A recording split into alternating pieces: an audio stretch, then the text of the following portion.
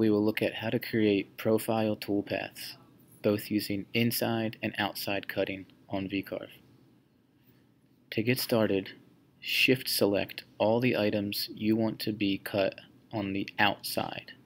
So in this example, we're going to select the circle, hold shift, select this rectangle, continue holding shift, select this object which is our tenon, and select the rectangle over here.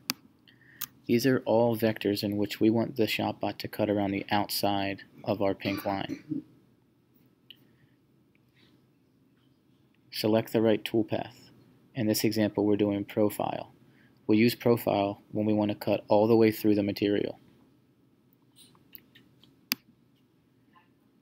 Again, your start depth should be zero, but this time we're cutting all the way through the material. So unlike our pocket examples, the cut depth here must always match the thickness. If you recall from our setup, this is 0.75 inches thick, therefore our cut depth must also be 0.75 inches. Again, our tool should be upcut. If it's not, click select and select upcut.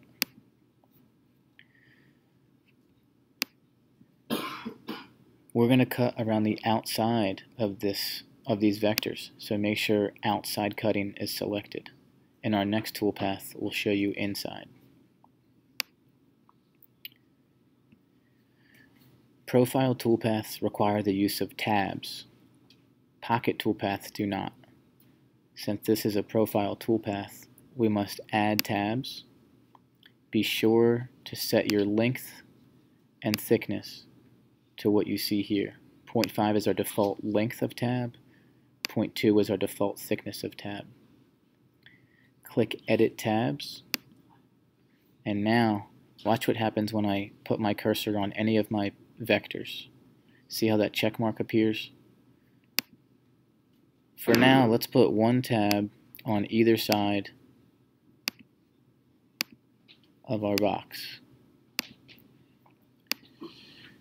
One vector on either side. I'm sorry, one tab on either side. Our circle is so small that we're not going to worry about putting a tab on it. When we're all done, click close. And now we can go down and name our toolpath. Profile 1 outside of rectangles. Again, you can put whatever you want here so long as you don't just leave it as profile 1. Add some sort of description. Click calculate. And again, we can practice using our preview window. If you just want to preview that most recent toolpath, make it sure it's selected, preview selected toolpath. And if I click with one finger and slide with a second, you can I can orbit and you can better see the tabs here.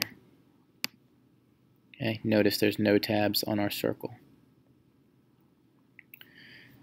If I want to preview everything, I can reset the preview, preview all toolpaths. Notice it does them in the order they are listed here. If I want to change the order, I could move this down, reset the preview, and preview all toolpaths. Notice how it did the circle at the end. We actually want the circle to be first, so I will move that back up the list.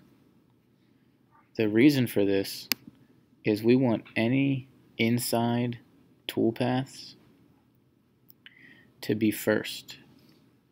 And here's why.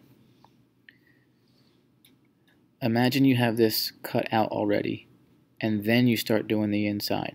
You run the risk of breaking these tabs free by the stress you're putting on the piece.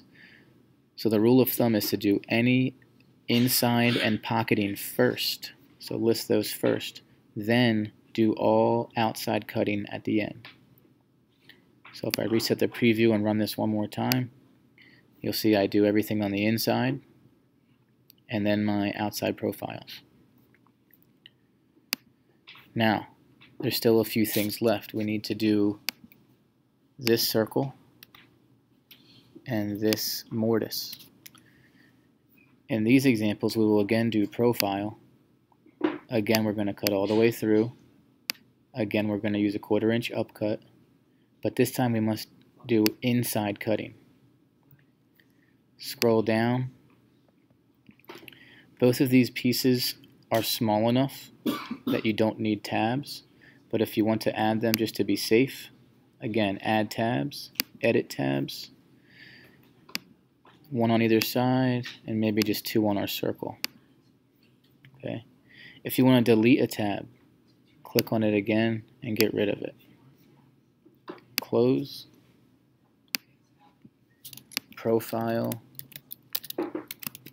Inside circle slash rectangle and calculate. We would again reset our preview preview selected toolpath. And there you have it. Let's preview all toolpaths. Reset, preview all.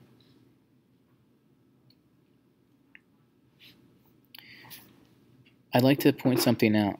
Both of these circles, if you look at our 2D drawing, started at exactly one inch. But it's clear that for some reason in our 3D view, this circle is larger. The reason for that is this was cut around the outside of the line and this circle was cut on the inside of the line. So take note and make the right decision for future cuts. When should be inside and when should be outside. At this point, you should show your 3D view and preview to Mr. Estock and he will approve it for taking it to the ShopBot. To take it to the ShopBot, you must click File, Save As. Make sure you are saving a CRV file and make sure you're saving it to the desktop. Always put your name on it and some sort of descriptive word and save the file.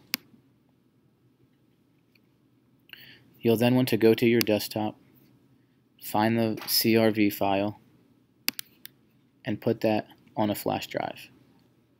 Then take the flash drive to the ShopBot and open your file and prepare to cut.